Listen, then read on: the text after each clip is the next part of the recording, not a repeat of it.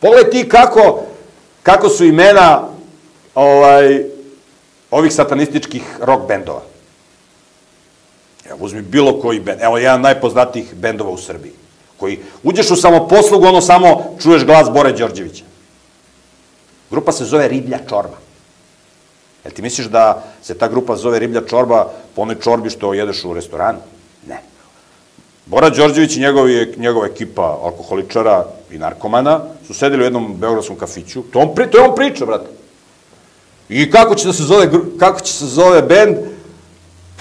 Pa mogo bi da se zove, pošto u slengu beogradskom, krv od ženske menstruacije se zove riblja čorba, pošto liči, pošto žena, žena kad ima menstruaciju, to onda krvari crveno.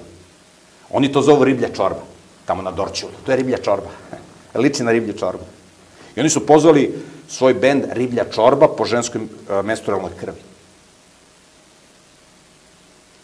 Pole kako su, pole bilo koji drugi bend, prljavo kazalište. Nekad sam ja slušao dok mi mozak bio u alfa režimu prljavo kazalište. Prljavo kazalište. Što ne može da bude čisto kazalište. Prljavo. Električni orgazam. Orgazam, brate. Razumiješ, odvaljivanje, brate. A pola je bilo koje, koje druge, pola je Van Gogh, brate. To je neki diabolik što izvršio samoubistvo. Van Gogh. On je bio slikar. Pa daj da vidimo te slike, znaš šta je ono džubre, brate. On nisu slike, ono džubre. Kerber, grupa Kerber. Znaš šta je Kerber?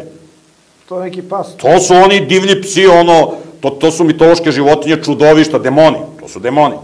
Kerber.